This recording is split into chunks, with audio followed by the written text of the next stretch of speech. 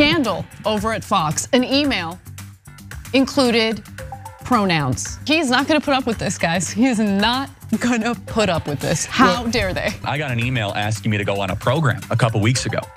And the producer had his pronouns in his email signature. Really? Uh-huh. They're asking me to come on the show, and I sent it to my team. I said, "We are not going on this show." Let me be. No, the answer okay? is no. I didn't know that uh, Fox had become this radical left. So radical. Uh, and uh, and I'm glad to to find out. And I'm just outraged that they're using grammar at Fox News. It's time that we straighten things out. You send me an email with commas?